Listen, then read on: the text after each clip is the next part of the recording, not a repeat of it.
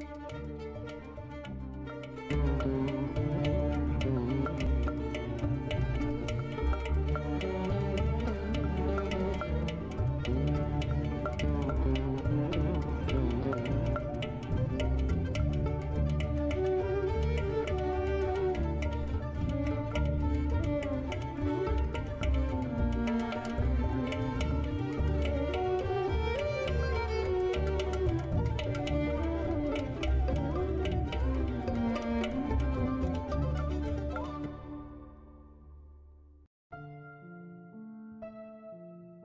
বাংলা সাহিত্যের বিভিন্ন চেনা অচেনা গল্প দিয়ে সাজানো আমাদের প্রচেষ্টা ব্রেক স্টোরি। দীর্ঘ তিন মাস বিরতির পর আজ আমরা ফিরছি আমাদের প্রথম মৌলিক গল্প নিয়ে। আমাদের আজকের নিবেদন সম্মোহন। গল্পটি লিখেছেন রেশমা দাস। গল্পের সূত্রধর, গল্প পাঠ এবং ম্যাজিশিয়ান স্যামের ভূমিকায় সুমন চক্রবর্তী। এনাক্ষের ভূমিকায় প্রিয়াঙ্কা, ঋতুর ভূমিকায় রেশমা, নৃপেনবাবুর ভূমিকায় সায়ন্তন অলকা দেবীর ভূমিকায় পূজা এবং ইন্সপেক্টর সুনন্দ মৈত্রের ভূমিকায় আদিত্য। আবহ সংগীত, শব্দ এবং স্পেশাল এফেক্টসে আমি সুমন চৌধুরী। শুরু হচ্ছে আজকের গল্প সম্মোহন।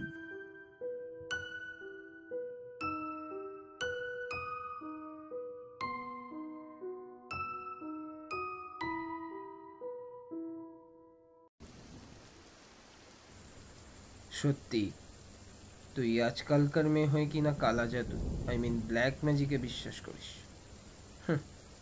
ভাবতে অবাক লাগছে। একটু বিরক্ত হই মেয়েকে বলেন নৃপেনবাবু ওহ বাবা প্লিজ তোমাকে কতবার বলেছি হিপনোসিসটা কোনো ব্ল্যাক ম্যাজিক নয়। আর শোনো তুমি যেটা জানো না বোঝো না প্লিজ সেটা নিয়ে কথা বলো না তো। বিরক্তিকর। এনা এনাক্ষী নৃপেনবাবুর একমাত্র মেয়ে। নৃপেনবাবুর সংসারটা ছোট হলে কি হবে? এনা একাই জমিয়ে রাখতো সবাইকে। বাড়িতে সদস্য বলতে নৃপেনবাবু, তার স্ত্রী অলকা দেবী ও তাদের মেয়ে। নৃপেনবাবু নির্ঝঞ্ঝাট ভদ্রলোক, সাথে পাঁচে থাকে না বললেই চলে। তেমনি তার স্ত্রীও স্বল্প এবং মিষ্ট ভাষা তবে তারা দুজনেই মেয়ে অন্তপ্রাণ। ইনকাম ট্যাক্স ডিপার্টমেন্টে কর্মরত নৃপেনবাবুর একান্ত স্বপ্ন একজন সরকারি চাকুরিজীবী ভদ্রসভ্য ছেলের হাতে মেয়েকে পাত্রস্থ করা। আর ঠিক এইখানেই বাবা আর মেয়ের মত পার্থক্য। এনা ভালোবাসে চিরাগকে, কিন্তু নৃপেনবাবুর মেয়ের জন্য ভালো এবং সরকারি চাকুরিজীবী পাত্র খোঁজার কোনো ত্রুটি রাখেননি। কারণ ওই রোগা সোগা কলেজ পড়ুয়া ছেলে চিরাগকে তার একেবারেই পছন্দ নয়। আগেও সে বহুবার কলেজ সোশ্যালের রিহার্সাল দেওয়ার জন্য এনার বাড়িতে এসেছে। এমনিতেও এনার বাড়ির ছাদটা আকার আয়তনে বেশ খানিকটা বড় বলে কলেজের ওদের ডিপার্টমেন্টের সোশ্যালের সমস্ত রিহার্সাল ওর বাড়ির ছাদেই হয়েছিল।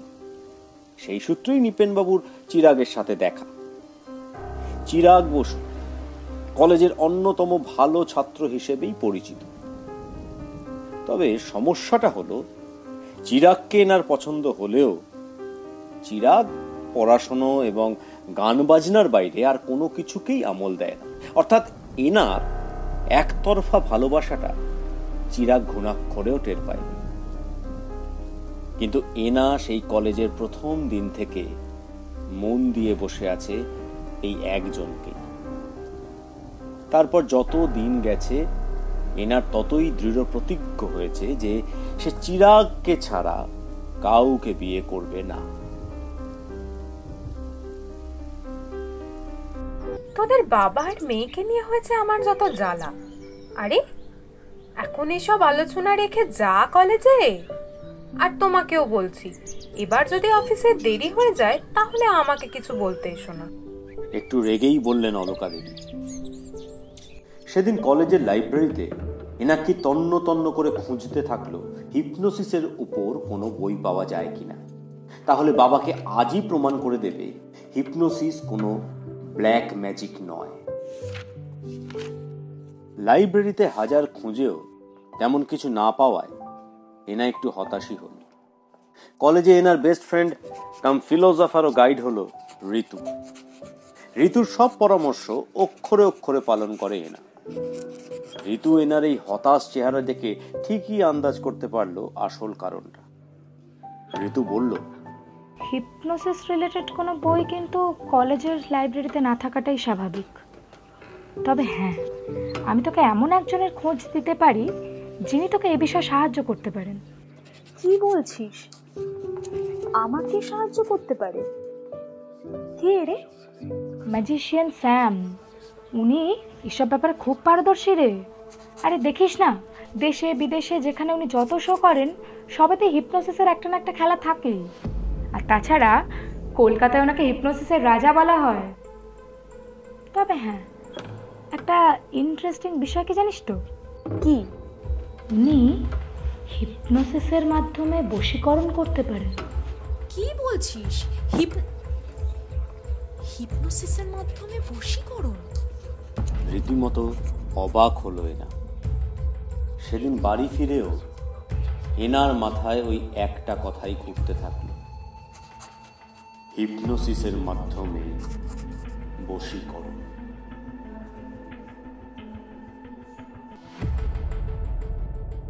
সন্ধেবেলা পড়তে বসেই কি মনে হলো? হঠাৎ ঋতুকে ফোন করে বলতে লাগল, হ্যালো শোন না, আমি একটা কথা ভাবলাম, বুঝলি?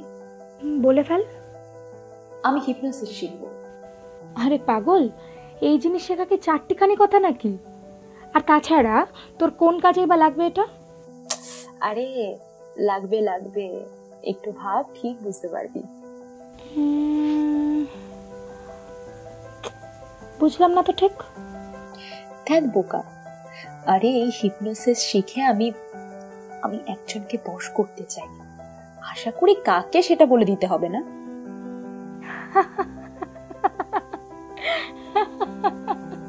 তুই পাগল হয়ে গেলি নাকি রে? তুই শেষ পর্যন্ত বশীকরণ করে চিরাগকে বিয়ে করবি?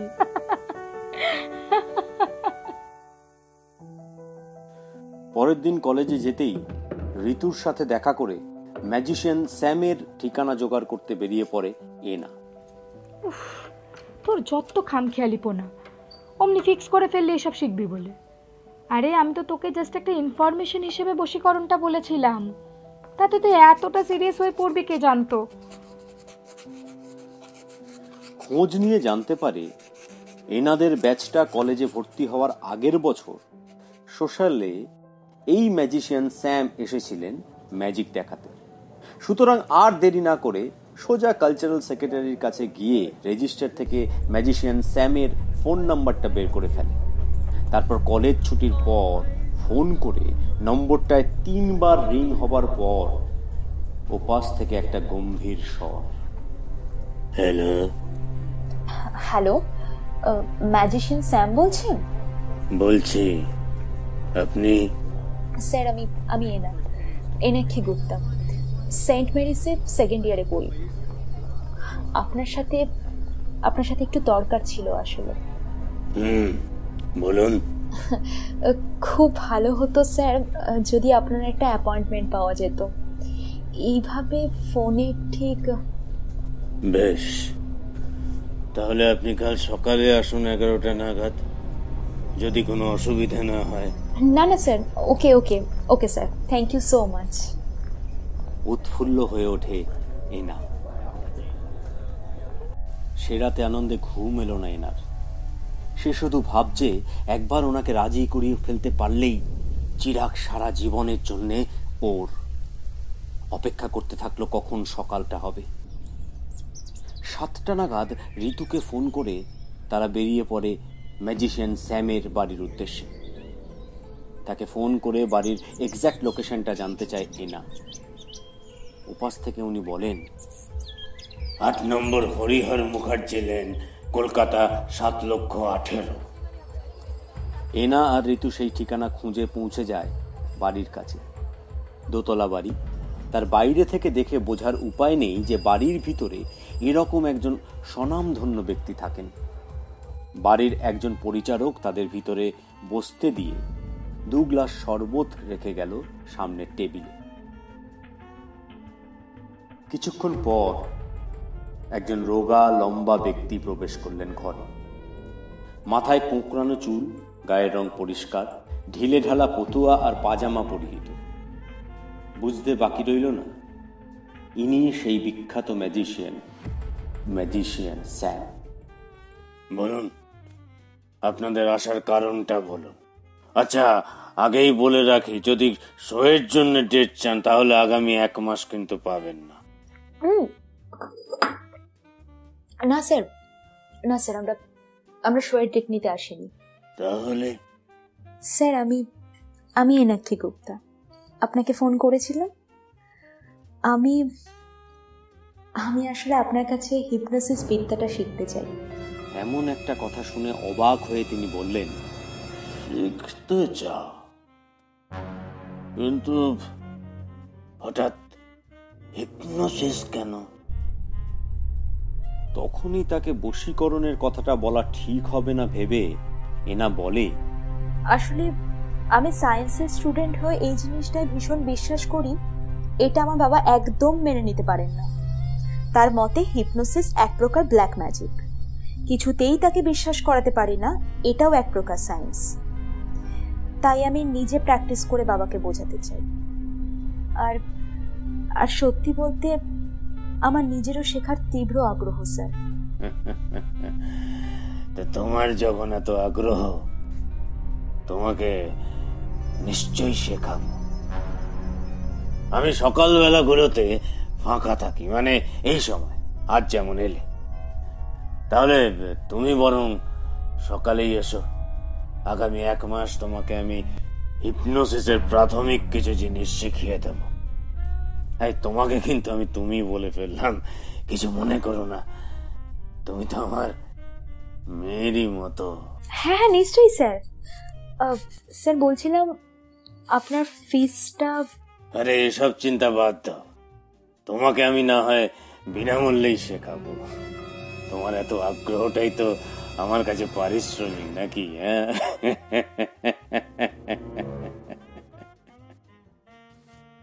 এনাক্ষী বাড়ি ফিরে সেদিন খুব উচ্ছ্বসিত থাকে।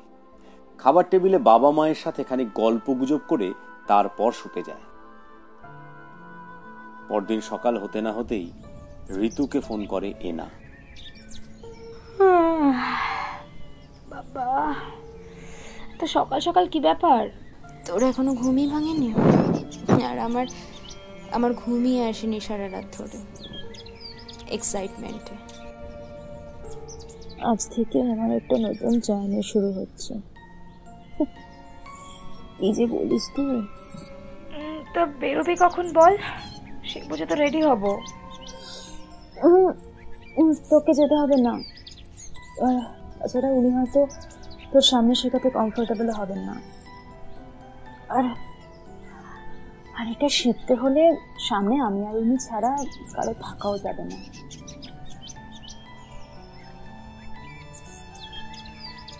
সকাল ঠিক এগারোটার সময় এনা ঠিক হাজির হয়ে গেল ম্যাজিশিয়ান স্যামের বাড়িতে। পাক্কা দু ঘণ্টা পর অর্থাৎ দুপুর একটায় শেষ হলো সেদিনের ক্লাস। এনা কলেজে না গিয়ে সেদিন সোজা বাড়ি ফিরে চলে এলো। এখন ফিরলি যে? এত তাড়াতাড়ি তোর কলেজের ক্লাস শেষ হয়ে গেল? প্রশ্ন করলেন অলকা দেবী। হ্যাঁ মা। এমনিতেও আজ একটু টায়ার্ড টায়ার্ড লাগছে। শোনো না তুমি আমাকে একটু কিছু খেতে দাও না একটু রেস্ট নিই এইভাবে বেশ কিছুদিন যাবৎ একই ঘটনা ঘটতে দেখে অলকা দেবী নৃপেনবাবুকে বিষয়টা জানান। নৃপেনবাবু ঠিক করলেন এ ব্যাপারে মেয়ের সাথে কথা বলবেন। সেদিন সন্ধেবেলা এনাকে ডেকে নৃপেনবাবু বলেন কিরে তোর কলেজ ইদানিং এত তাড়াতাড়ি ক্লাস শেষ হয়ে যাচ্ছে? মা বলল নাকি দুপুরের দিকে বাড়ি ফিরে আসছিস? আর ফিরে নাকি ঘুমিয়েও পড়ছিস? হুম বাবা। সামনে সেমিস্টার এক্সাম তো।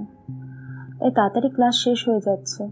আর রাত জেগে পড়তে হচ্ছে তাই দুপুরটা একটু ঘুমিয়ে নিচ্ছি। নৃপেনবাবু অবশ্য এ কথা বিশ্বাস করলেন। এমনি করে আরও প্রায় এক সপ্তাহ কাটার পর একদিন সন্ধেবেলা হঠাৎ নৃপেনবাবু অলক্কা দেবীকে ডেকে বলেন আমার হাত ঘড়িটা কোথায় বলো তো? আজকে অফিস বেরোনোর সময়ও দেখলাম নেই। এত এত খুঁজলাম, পেলাম না।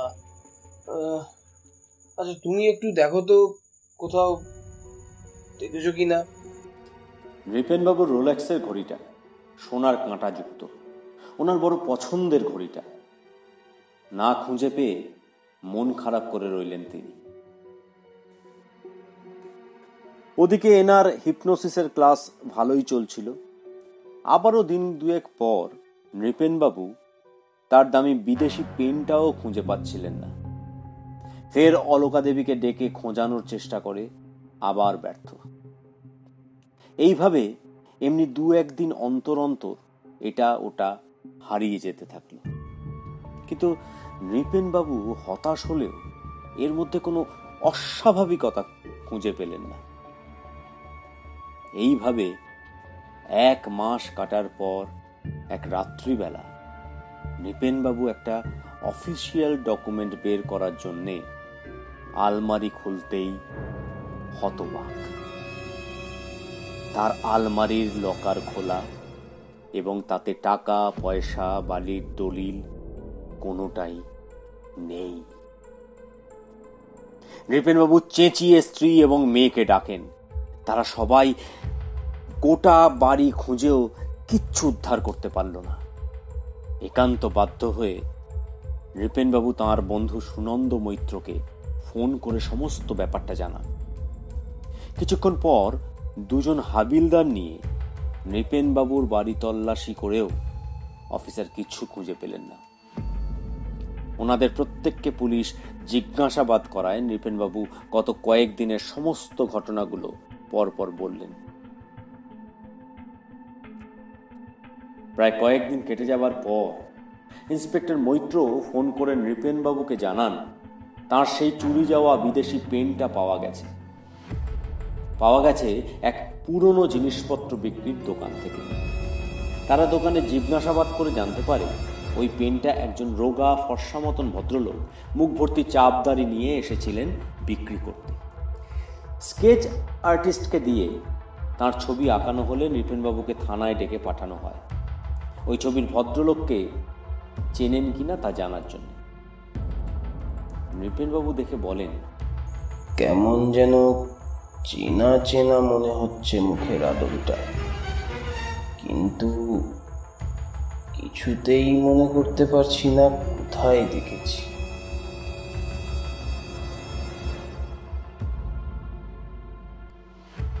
ইদানিং এনা আগের মতো সময় এই কলেজ থেকে ফেরে বিকেলবেলা।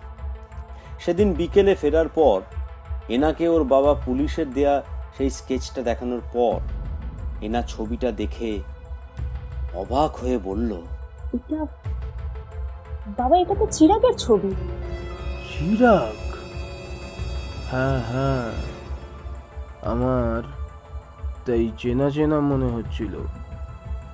তো তুই শিওর তো?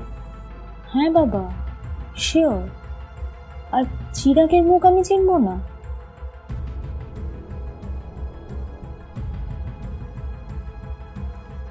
নৃপেনবাবু ইন্সপেক্টরকে ফোন করে কথাটা জানান। পুলিশ চিরাগকে থানায় ডেকে পাঠিয়ে জেরা শুরু করে। যদিও অনেক চেষ্টা চরিত্র করেও একটা কথাও বের করতে পারল না তারা। ইন্সপেক্টর সুনন্দ মৈত্র বললেন, তুই মুখ না খুললে কীভাবে মুখ খোলাতে হয় সেটা আমি জানি।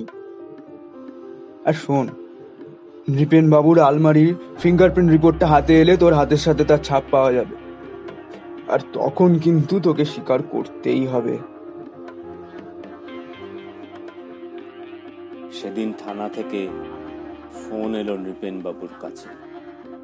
ইন্সপেক্টর মৈত্র হতাশ কণ্ঠে বলেন আপনাকে একটা কথা জানাবার ছিল। হয়তো শুনলে আপনার একটু অবাকই লাগবে। আসলে আসলে চাবিতে আপনার মেয়ের হাতের ছাপ পাওয়া গেছে। কি কি কি বলছেন মিস্টার মিত্র? এই না মানে ও আমার লকারে হাত দিয়েছে। আপনার নিশ্চয়ই কোথাও ভুল হচ্ছে। আপনি প্রয়োজনে যাচাই করে নিতে পারেন মিস্টার গুপ্ত।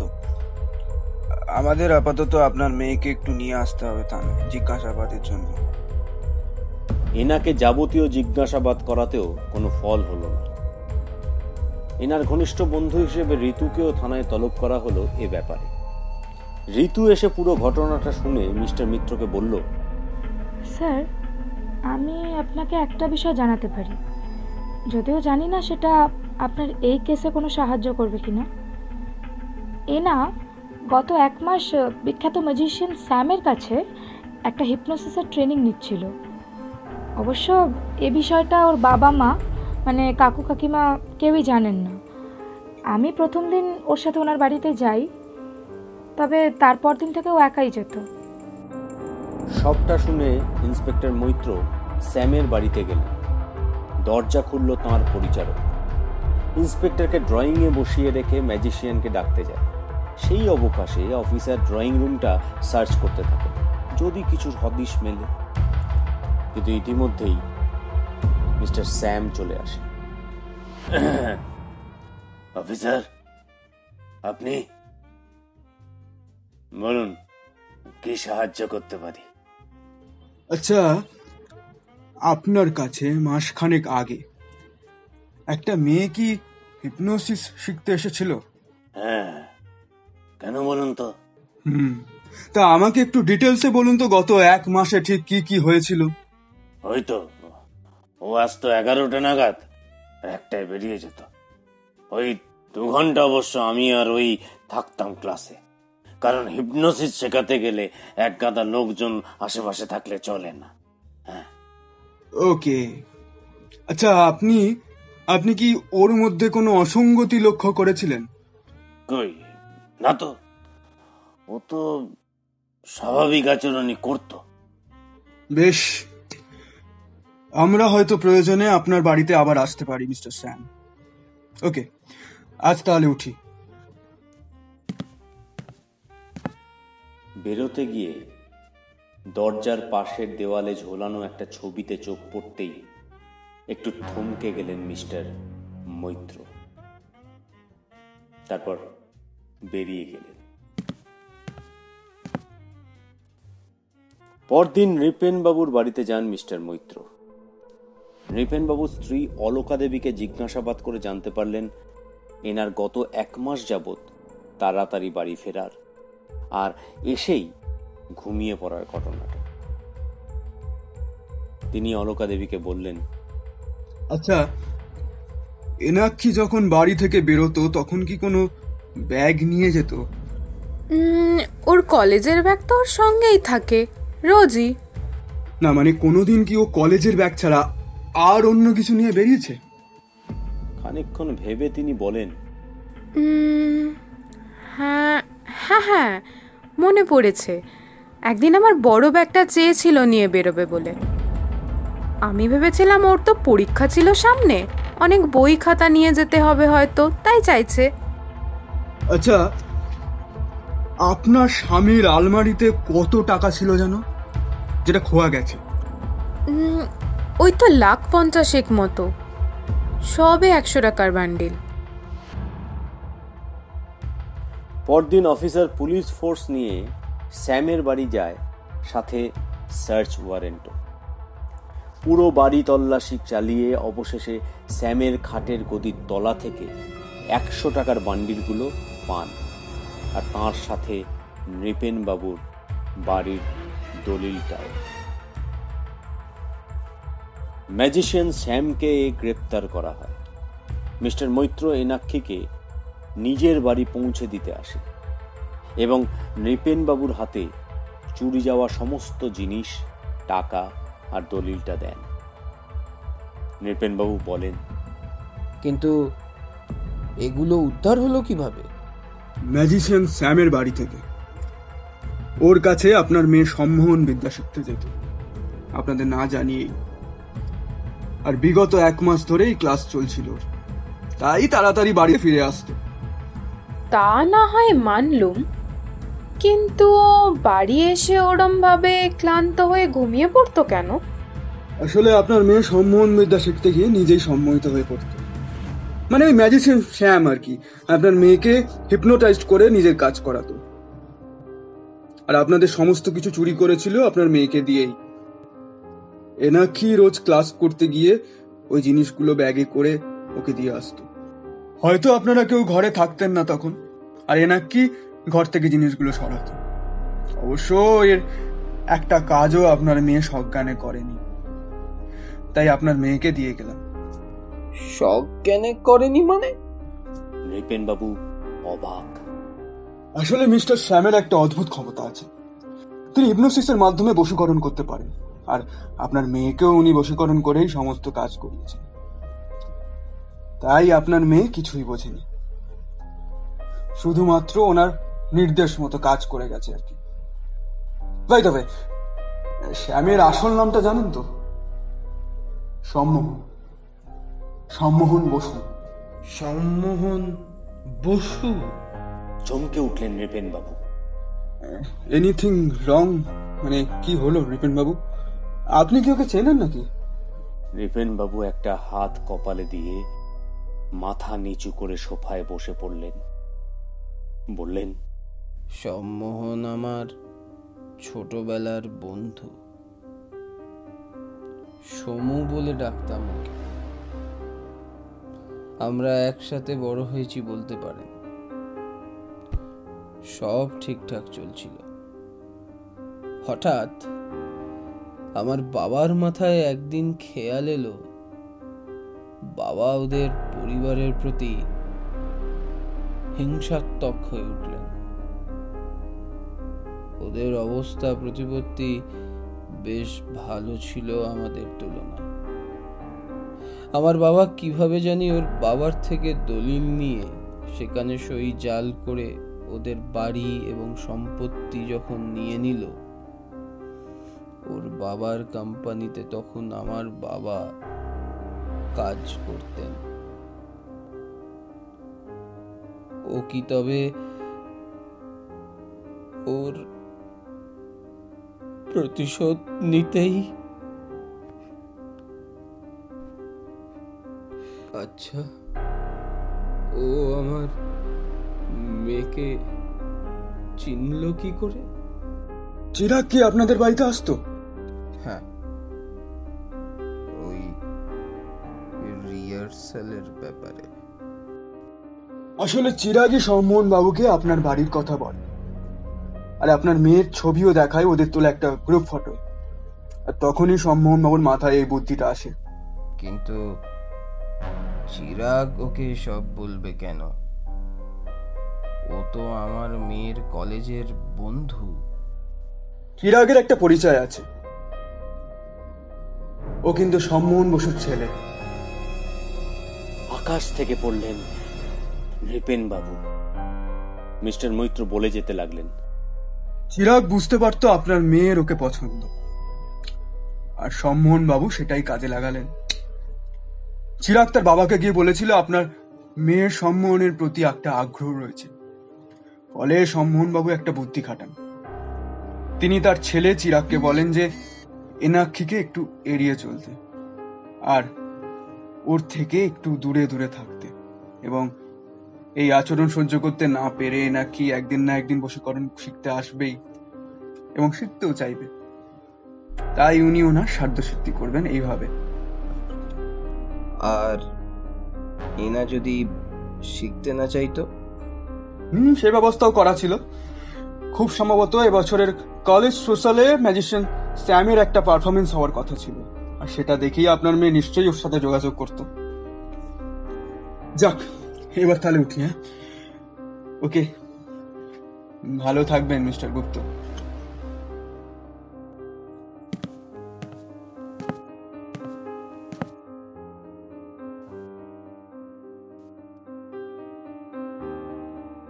নৃপেন বাবু মেয়ের ঘরে গেলেন। এনাক্ষী ঘুমোচ্ছিল। ওর মাথায় হাত বোলাতে বোলাতে নৃপেন বাবু ওকে ডাকলেন। এনা উঠে বসল।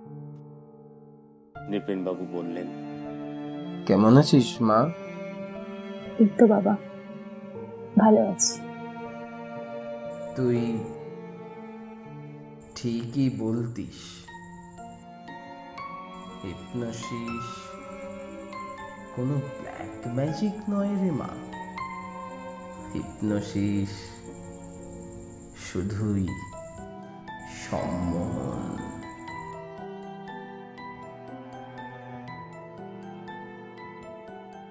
শুনছিলেন ব্রেক স্টোরির প্রথম মৌলিক গল্প সম্মোহন।